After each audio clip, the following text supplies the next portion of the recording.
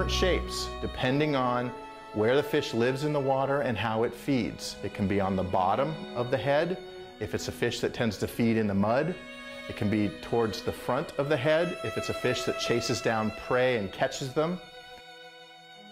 Respire, which means they produce carbon dioxide and use up oxygen both in the day. With 300 gallons of water, I can have 100 fish. That's about two fish a week. Now, two fish a week, that's pretty good.